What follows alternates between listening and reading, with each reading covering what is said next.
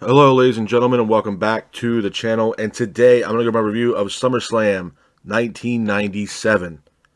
Starting off the evening, we'll go to our first match of the night. It is Hunter Hearst Helmsley versus Mankind in a steel cage match. Number one, I thought this was a, this was a great opening matchup for SummerSlam 97. Back and forth matchup between both Helmsley and Mankind. Mankind was keeping the pace of the match. Mankind then applies a mandible claw on Hunter as well. Hunter then gets out of that, hits a suplex off the top of the cage on Mankind. It looked absolutely devastating. Triple H then gets his leg caught in the ropes. Mankind then goes to escape the cage, but Chyna slams the door right into Mankind's face. Mankind then gets up, hits a double arm DDT on Hunter on a chair. Mankind then hits an elbow drop off the top row, uh, top of the cage on uh, Hunter Hearst Helmsley, and then Mankind ultimately escapes the cage, and your winner of the match is Mankind. Couple things I'm going to say about this matchup, man. Number one, this was a great opening matchup for SummerSlam 97, like I had said, uh, and especially it being a steel cage match. And the other thing, too, is there was a lot of, like, rivalries, if you will, with Mankind, but I, th- I think the one that people don't talk about a lot is Mankind's rivalry with Triple H. I mean, they had a lot of good, notable matches, man. And honestly, for what it's worth, yeah, Triple H kind of came out more of the victor in those matches with Mankind. But at the same time, too, I mean, Mankind, man, I mean, absolute, absolute legend. You can't knock the guy for what he's done for professional wrestling in his career. You can't. I mean, it's just absolutely insane. Even after the match was over, you see Mankind kind of sitting there and knows that, like, what he just went through with Triple H. And I mean, him hitting that elbow drop off the top of the cage, straight out of Jimmy Snuka's book, that, you know, the Superfly that he landed on Don Muraco it was just absolutely insane, man. Even commentary was talking about it. Vince was talking about it when Jimmy Snuka jumped off the cage and hit the Superfly on uh, Don Muraco. Just absolutely insane. This was a really good opening matchup for SummerSlam 97, and hats off to Mankind for getting the win in this matchup. Moving on from that, we go into our next match of the night. It is Goldust versus Brian Pillman. I thought it was a good matchup, back and forth matchup between both Goldust and Pillman, with Pillman keeping the pace of the match. Goldust and Pillman both exchange in the middle of the ring. Both Pillman and Goldust hit a humongous botch in this match, but Goldust ultimately hits a roll up on Brian Pillman, pinning him for the three, and your winner of the match is uh, Goldust. Hats off to Goldust for getting the win in this matchup.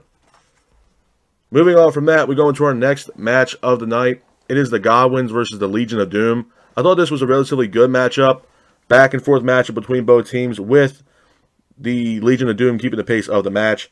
And LOD ultimately hits the uh, pile driver finish on Godwins, pin them for the three, and your winners of the match are LOD. A couple things I'm going to say about this matchup, too. Number one, it was a decent matchup. Godwins were a decent tag team. Obviously, the Road Warriors, Legion of Doom, phenomenal tag team. I mean, legends. The only negative thing I'll say about this matchup is that I wish Legion of Doom ended up hitting the Doomsday device rather than the pile driver finish because the Doomsday device is just absolutely insane of a finish. But that's probably the only bad thing I'll say about this match. But all in all, hats off to LOD for getting the win in this matchup. Moving on from that, we go into our next match of the night. It is for the European Championship.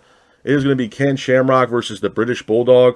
I thought it was a good matchup back and forth matchup between both Shamrock and the Bulldog, with Shamrock keeping the pace of the match. Bulldog then throws dog food on onto Shamrock on the outside. Shamrock then grabs the dog food can, crushes it over uh, the Bulldog's head, and uh, referee ends up seeing it. And your winner of the match is the British Bulldog by disqualification. Hats off to the British Bulldog for getting the win in this matchup. Moving on from that, we go into our next match of the night. It is the Disciples of Darkness versus Los Boricuas. I thought it was an okay matchup, back and forth matchup between both Disciples of Darkness and Los Boricuas, with Disciples of Darkness keeping the pace of the match. Nation of Domination are ringside, and then all-out fight breaks out between the Nation Domination, Disciples of Darkness, and Los Boricuas. Ahmed Johnson hits a devastating power bomb on James from the Disciple of Darkness on the outside. It looked absolutely brutal. Then Los Boricuas goes for the cover, pins for the three, and your winners of the match are Los Boricuas. Hats off to Los Boricuas for getting the win in this matchup. Moving on from that, we go into our next match of the night. It is Owen Hart versus Stone Cold Steve Austin for the WWE Intercontinental Championship. Number one, I thought this was a great matchup. Back and forth matchup between both Owen Hart and Stone Cold Steve Austin, with Owen keeping the pace of the match. Austin then hits a Lou Thesz press on Owen Hart. Austin then hits a powerbomb on Owen as well. Owen then hits an elbow drop on Austin. Owen then hits a devastating power driver on Austin as well. And honestly, that power driver could have ended Stone Cold Steve Austin's career, which I'll get to at the end of this. Um, but Austin somehow hits a roll up on Owen Hart, pinning him for the three, and your winner of the match, and at that time new WWE Intercontinental Champion is Stone Cold Steve Austin. A couple of things I'm going to say about this matchup. Number one, like I had stated, man, this was a great matchup. And at a time where the Intercontinental Championship actually meant something for WWE. The power driver that Owen Hart landed on Stone Cold Steve Austin in this match was bad. Very bad. To a point where, you know, if it, it could have gone horribly wrong. To a point where Stone Cold Steve Austin, A, probably would never walk again. B, and probably never wrestle again. Um, and this was something that Stone Cold Steve Austin touched based on in many documentaries and stuff like that, and different shows that he was on, talking about this incident that he had with Owen Hart. And I think, you know, Stone Cold Steve Austin obviously respected Owen, um, and a lot of people in the industry respected Owen Hart. And I don't think Owen Hart meant any ill will when he landed this pile driver on Stone Cold Steve Austin. But it was always something where, you know, Steve Austin would always say that Owen, you know, never gave him an apology for what he did. So I don't know if it was more or less animosity between both Owen and Stone Cold Steve Austin. I have no idea. All I know was is it was a great matchup.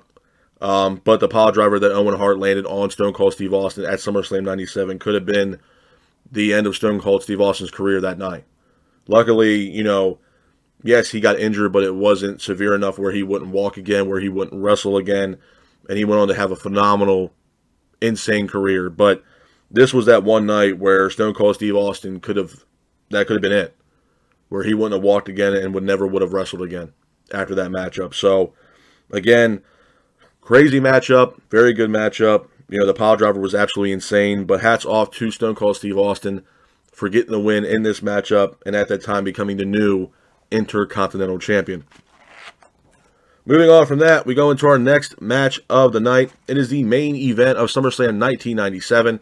It is The Undertaker versus Bret Hart for the WWE Championship with a special guest referee, Shawn Michaels. Number one, I thought this was a great matchup back and forth matchup between both Taker and Bret Hart, with Taker keeping the pace of the match. Paul Bearer is here. Undertaker then goes to attack Paul Bearer. Owen Hart and uh, Brian Pillman from the Hart Foundation are here as well. Bret and Shawn Michaels kind of had a scuffle throughout the entire match. They couldn't really agree on anything to a point where Bret goes to spit on Shawn Michaels in the middle of the ring. Shawn then uh, gets upset, grabs a chair, goes to hit Bret Hart with the chair, but instead hits The Undertaker. Bret then goes for the cover, pins for the three, and your winner of the match, and at that time, new WWE Champion is Bret Hart. A couple things I'm going to say about this match as well. SummerSlam 1997, man. Number one, this main event was absolutely fantastic. It told one hell of a story. Obviously, the animosity between Bret Hart and Shawn Michaels, one of the best rivalries in all professional wrestling, in my honest opinion. Um, and to have Shawn Michaels as the special guest referee in this match just made this match just absolutely great. I mean, it was absolutely awesome. The finish was crazy. I mean, with Bret spitting on Shawn Michaels, obviously it's going to tick Shawn Michaels off. He grabs a chair, goes to hit Bret Hart, then mistakenly hits Undertaker besides Bret Hart, and then Bret gets the cover for the one, two, three.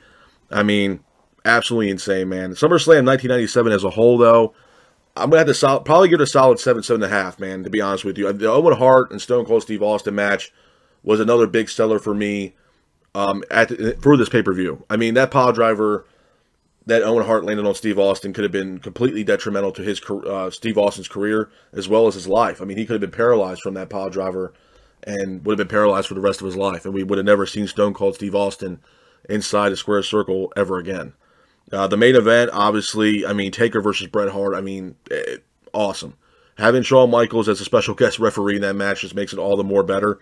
But um, all in all, I mean, SummerSlam 1997, I would have to probably give it a solid seven maybe seven half, seven and a half at best. But this is my review of SummerSlam 1997. I hope you guys are out there staying safe. Be careful and remember, stay classic. Peace.